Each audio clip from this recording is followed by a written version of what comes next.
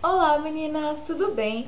Bom, hoje eu vim trazer pra vocês uma maquiagem mais artística, é uma maquiagem árabe super trabalhada, então quem vê assim de fora pensa que foi bem difícil de fazer, mas é totalmente ao contrário, não tem muito segredo, não é difícil de fazer, é só vocês conseguirem seguir o passo a passo certinho que fica um resultado bem bonito. Então eu coloquei aqui essa túnica, coloquei aqui um brinco mais comprido, porque geralmente eu não gosto de brincão assim mais comprido, eu gosto mais daquelas de bolinha, sabe, pequenininho. Coloquei isso. Eu fui inventar de querer colocar anel também, mas eu não tinha anel grandão. Então ficou assim, gente, só pra que vocês consigam se inspirar um pouquinho mais. Então, ó, eu árabe. Que tal, gente? Que tal meu olhar sexy, ó? Ficou bem bonito, né? então, realmente é uma maquiagem que valoriza super o olhar. Bem bonita, não é difícil de fazer e eu quis ensinar elas pra vocês. Um super beijo se vocês querem aprender essa maquiagem árabe é só continuarem acompanhando o vídeo. Vamos lá?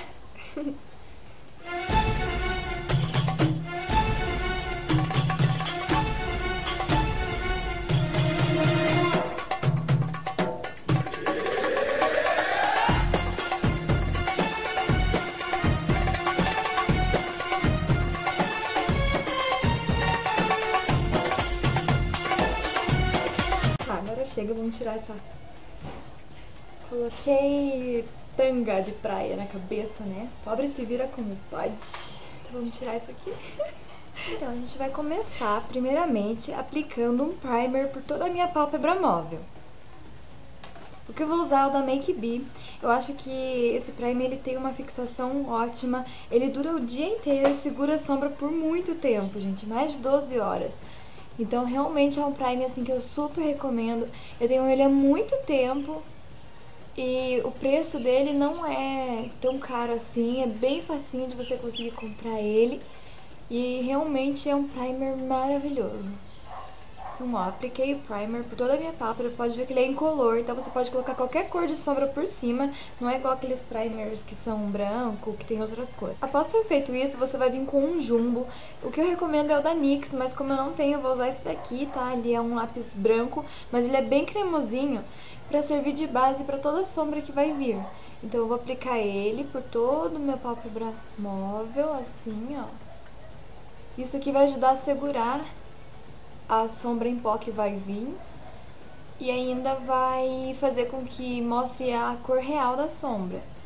Porque a gente vai apagar a cor da nossa pele. Vai ficar com fundo branco como se fosse desenhar no papel sulfite. Então a cor ela vai mostrar muito mais. Ó, eu venho espalho assim com o próprio dedo mesmo. E o que sobrar eu levo mais pra cima assim pro côncavo. Agora a gente vai vir com uma fita crepe ou com band-aid, com qualquer fita que você tenha, um durex, pra colar no cantinho do olho e ficar essa partezinha bem retinha aqui no canto. Então, ó, vou vir com band-aid assim, ó. E eu vou colocar no cantinho do meu olho, rumo à minha sobrancelha, desse jeito, ó. E vou deixar coladinho aqui. Pegue mais ou menos no mesmo rumo que o outro olho, tá, gente? Então faz uma coisa bem certinha, que já tenha mais ou menos a mesma forma. Não pode ficar um durex colado mais pra cima, outro mais pra baixo. Tenta deixar ele o mais retinho possível, assim, ó.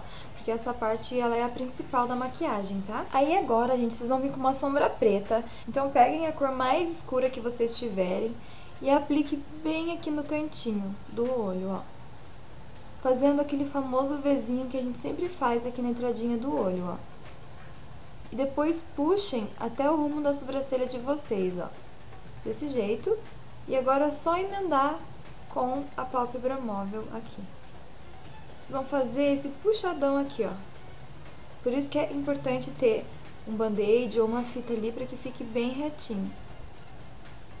Ó, eu vou limpar um pouquinho meu pincel agora e vou puxar a sombra preta por cima do meu côncavo, ó, para que essa cor mostre por cima do meu côncavo. Eu não vou trazer bem no meu côncavo, ó. Meu côncavo tá aqui. Eu trouxe aqui ela um pouquinho mais pra cima, pra mostrar quando meu olho estiver aberto. E com o próprio dedo mesmo, ó, eu vou vir aqui intercalando o branco com esse preto. Vai ficar mais ou menos uma cor cinza aqui. Dessa forma. Após ter feito isso, eu vou pegar uma cor laranjada. Vocês podem usar a cor que vocês acharem melhor para essa maquiagem. Afinal, ela pode ser colorida, ela pode ser de qualquer cor que vai ficar lindo, qualquer cor combina com o preto. Eu resolvi escolher o laranja porque a minha, a minha túnica que eu vou usar ela é laranjada. Então, ó, com aqueles pincéisinhos normais, assim, sabe? De esponjinha que vem já junto com a própria paleta. Então, essas buch essa buchinha que a gente vai usar, ó. E eu vou vir depositando essa cor laranja por toda a minha pálpebra móvel.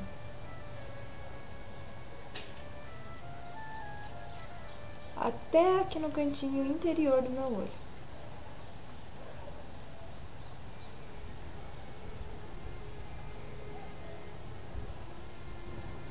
E já vou intercalar esse preto aqui com laranja. Tanto aqui no cantinho, quanto aqui no meu côncavo.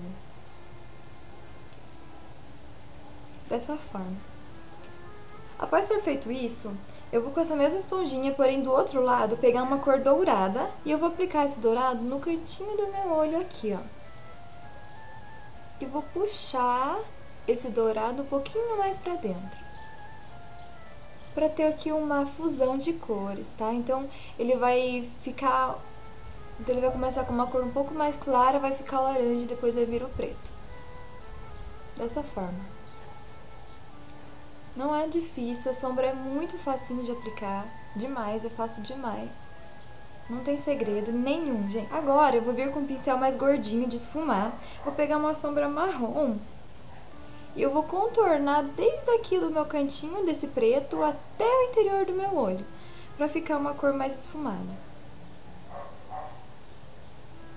Ó.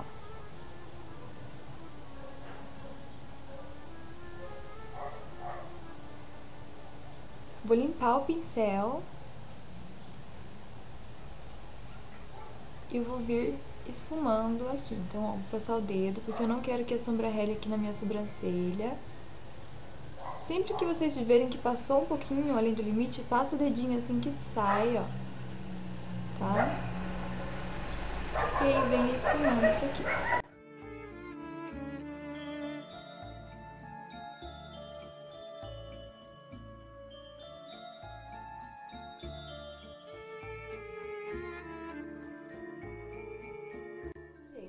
Ó. Facinho, né? Não tem segredo até agora. Agora, com o próprio dedinho assim mesmo, ó, pegue uma cor iluminadora, um branco que você tenha, uma cor gelo, e aplique abaixo da sobrancelha, assim, ó. Pra dar um up no visual e não ficar nenhuma partezinha do seu olho sem a presença de sombra.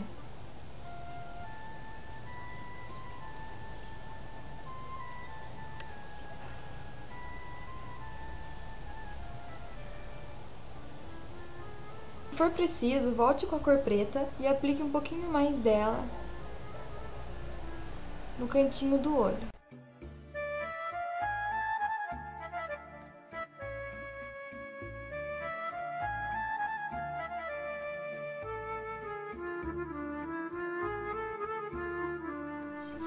Pra sombra é isso, coisa simples, não é difícil, é só ter um pouquinho de paciência para esfumar. E agora a gente vai tirar esse band-aid desse lado aqui pra cá. Se eu for tirar de lá pra cá, é muito arriscado que a sombra que esteja caída aqui em cima caia na, caia na pele. Então eu vou puxar, ó, meu band-aid daqui pra lá. Bem devagarzinho, pra sombra não transferir pro meu rosto. Ó, tá vendo? Ficou retinho, ó. É exatamente isso que a gente quer. Agora, com a colinha assim do próprio band-aid, eu vou vir colando aqui no meu rosto assim, ó. Isso vai tirar todas as, as sombras em pó que possa ter caído no rosto, tá? Então, ó, eu venho grudando assim e tirando tudo aquilo que possa ter caído no meu olho, dessa forma. Bom, meninas, agora que vai começar a dificultar um pouquinho mais. Com o delineador, vocês podem pegar o delineador que vocês acharem melhor. Eu acho que o delineador mais fácil pra vocês fazerem essa make é o delineador em gel, tá? Como eu não tenho aqui, tá em outro lugar o meu delineador em gel, eu vou usar o líquido mesmo, vou tentar fazer com esse líquido aqui. Então se vocês tiverem delineador líquido, vocês vão conseguir fazer essa maquiagem, é só ter um pouquinho de paciência. Eu vou começar puxando, contornando esse meu risco aqui, ó bem com a pontinha do meu delineado, porque eu não quero nada muito, grosso, muito grotesco. Então, ó, eu vou puxar até o rumo da minha sobrancelha. Cheguei na minha sobrancelha, eu paro de puxar esse delineado, ó. Dessa forma. um traço bem delicado. Então, tentem, não, tentem deixar a mão bem levinha para fazer isso. Agora eu vou delinear normal o, re, o restante do meu olho, ó. Esse tracinho que eu já fiz.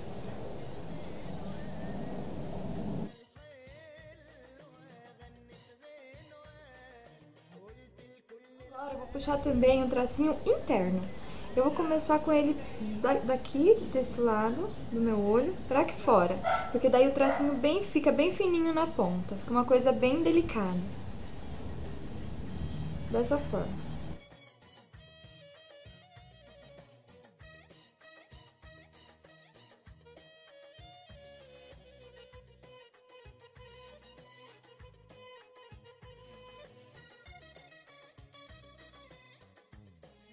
Puxei o tracinho de cima do meu olho. Agora a gente vai pro traço de baixo. Esse traço ele é o mais complicado de fazer, porque é bem difícil a gente conseguir deixar os dois olhos iguais. Então tem que ter muita concentração nessa hora. Vou pegar mais delineador. E eu vou começar do cantinho do meu olho pra gente conseguir ter uma base, tá? Então, ó, aqui vocês podem ver que eu deixei mais ou menos um centímetro.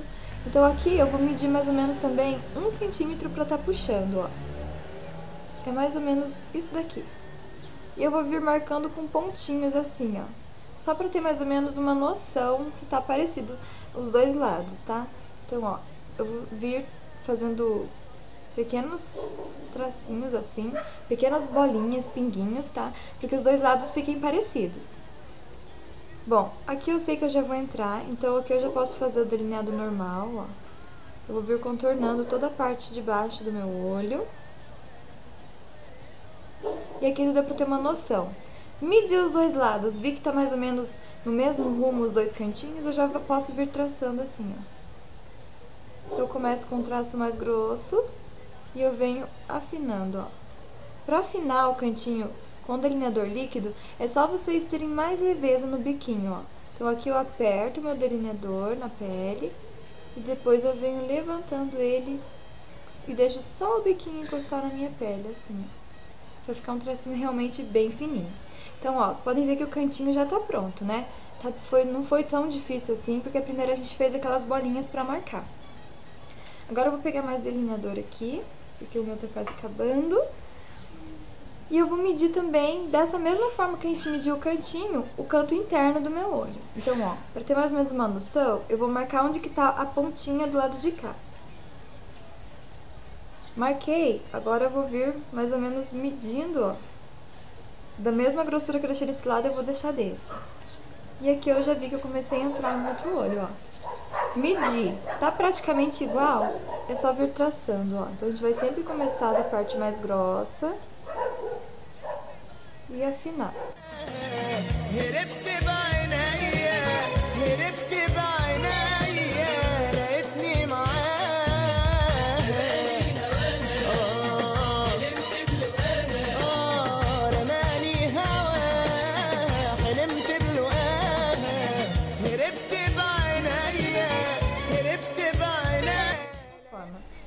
Ficou muito grosso, que não ficou igual do outro lado, é muito simples, tá, gente, pra corrigir isso. Nós vamos vir com um algodãozinho assim.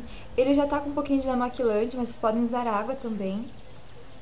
E a gente vai vir passando aqui, ó, debaixo desse traço, ó, pra deixar ele mais fino. Não é difícil, ó, é só ter um pouquinho de paciência. E a gente vai consertando, ó, deixando ele mais fino do jeitinho que a gente... virar um pouquinho de lado pra vocês verem. Ó, eu vou passando o cotonete bem de levinho na parte de baixo, assim, ó. E vou afinando esse meu delineado aos pouquinhos.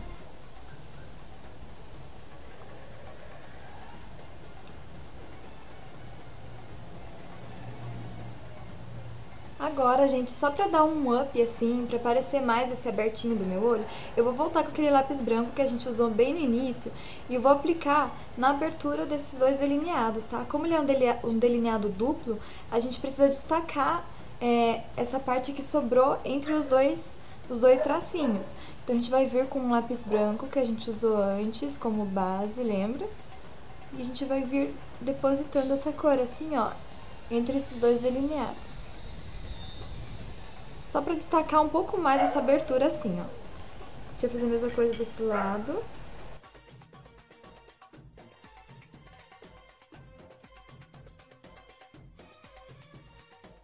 Dessa forma, ó. Tem um caminhão, gente, das Casas Bahia que tá perdido aqui e passa pra cima e passa pra baixo. Tá louco esse barulho. Ó, e daí a gente vai vir com o cotonete dando batidinha nesse branco pra ele não ficar uma coisa fora do limite, tá? Então, ó, pra não ficar bem pastosão, sabe? Pra parecer mais uma sombra, a gente vai vir com o cotonete dando batidinhas em cima desse branco assim, ó. Só pra amassar um pouco mais é, esse creminho que tem nesse lápis. Ó, dessa forma. Agora com lápis preto assim, a gente vai contornar toda a nossa, a nossa linha d'água superior. Porque a gente não quer nada aqui nessa parte que esteja na cor de pele. A gente quer tudo bem pretinho. E eu já posso aproveitar com esse mesmo lápis e vir dando uns retoques aqui, ó, onde, que eu acho, onde eu acho que não esteja tão pretinho do jeito que eu queria. Ó.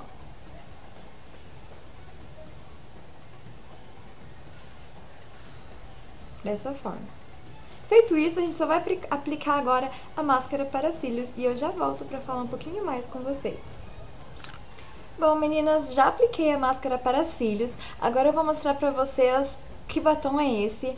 Eu usei um batomzinho mais coral para também dar uma, uma, um sobretom nessa sombra. Como a sombra ela ficou meio laranjinha, eu resolvi aplicar um batom mais coral para meio que combinar com um brinco também, ó, aquele. Então eu fiz mais ou menos tudo a mesma cor com tons diferentes para ficar uma maquiagem mais nude, tá? Então o batom que eu usei é esse daqui da Vult, tá? Ele é um batonzinho bem coral, cheiroso e ele é mate, tá? É muito gostosinho, eu tô adorando usar esse batom. Eu não sei informar pra vocês a numeração dele, porque já faz bastante tempo que eu tenho. E eu perdi aqui a partezinha de baixo do batom, onde tinha a numeração ou o nome do batom. Então é só vocês procurarem por um batonzinho assim, mais coralzinho da Vult, tá? Que ele é maravilhoso, gente. Ele dura muito tempo na boca, ó. E ele, ele é sequinho, mas ao mesmo tempo ele deixa essa boca bem hidratada, bem cremosa. Então, eu tô amando essa cor. Ó. Uma cor bem bonita mesmo. De blush, o que que eu fiz? Como eu não tinha um blush exatamente da cor coral que eu queria, eu peguei a mesma sombra que eu usei na minha pálpebra e com um pincel claro de, de blush e apliquei um pouquinho assim na minha bochecha só pra dar uma leve corzinha assim de coral, tá? Então assim, se vocês não tiverem é, algum blush da cor que vocês queiram, é muito fácil. É só vocês pegarem a paleta de vocês, acharem lá uma sombra que vocês acham que tenha mais ou menos a ver com um blush, por exemplo, um rosa, um laranjinha, um marrom, é, um creminho e passar como blush que vai durar o dia todo, normalmente assim como uma sombra vai durar. Então, gente, olha, a maquiagem final é essa. Deixa eu vir um pouco mais longe, ó. Ela ficou desse jeito. De lado, olha, é muito linda. Dá pra ver certinho, assim, ó, o retinho do olho, da, da sombra. Então ela fica um desenho bem bonito, realmente, ó. Tá vendo? Eu eu, tô, eu amei fazer uma maquiagem mais artística, assim, mais elaborada pra vocês. Realmente adorei de verdade. E eu vou procurar sempre trazer maquiagens, assim, mais trabalhadas pra vocês. Então, assim, como vocês viram, é uma maquiagem que, claro, não dá pra usar no dia a dia, né? Mas, assim, se vocês diminuírem um pouco mais esse puxado da parte de cima, deixar ele um pouco mais delicado, sabe? Não puxar tanto essa sombra assim pra, pra cá.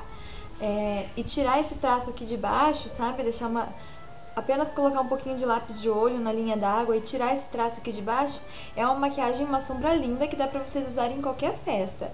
Então, assim, o legal é que dá pra vocês é, colocarem a cor que vocês acharem melhor. Fica azul, fica lindo. Uma cor mais verde fica lindo. Pra pele morena, gente, essa intercalação de laranja com dourado fica maravilhoso pra quem tem a pele negra. Então, assim, é uma maquiagem artística que dá pra vocês usarem com certeza aí numa festa fantasia. Às vezes vocês não têm dinheiro pra alugar alguma roupa. É muito simples. Compra pedaços de tecido, enrola no corpo como se fosse um vestido, enrola uma túnica na cabeça, faz essa maquiagem super elaborada e vai curtir a sua festa como uma moça árabe árabe. Então, realmente, uma maquiagem assim que dá pra vocês usarem em várias ocasiões, tá? Então, eu espero que vocês tenham gostado, gente. Um mega beijo. Fiquem com Deus e até a próxima. Tchau.